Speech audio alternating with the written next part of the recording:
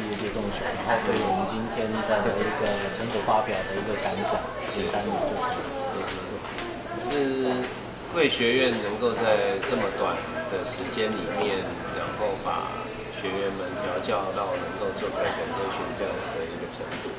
然后个人个人的课题不太相同，虽然基地的设定是一样，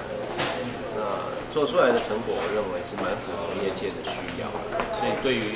产跟学之间的一个桥梁，觉得贵学院做的相当好。是，谢谢。那对于我们的呃未来的教学上，或者是课程上，有没有什么需要的呃一些建议呢？呃，其实我对教学内容跟课程内容我并没有那么熟悉。那今天主要是直接就是进入到验收的一个状态，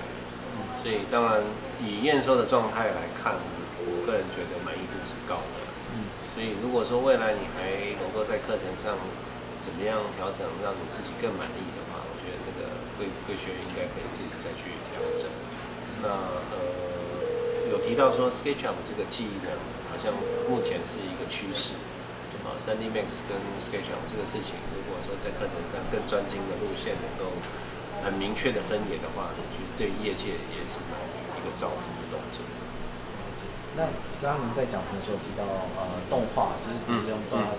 嗯这一方面的话，呃，是因为感受到业界就是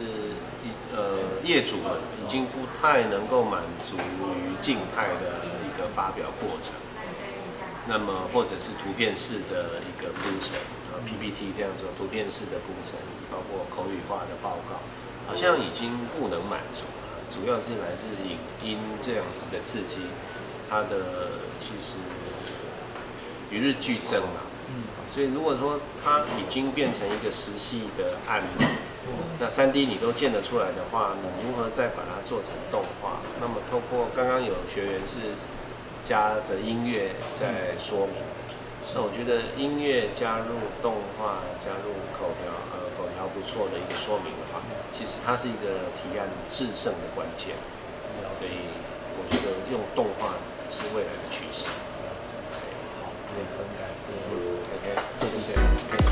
学习成就喝彩零八零零八八五二二二。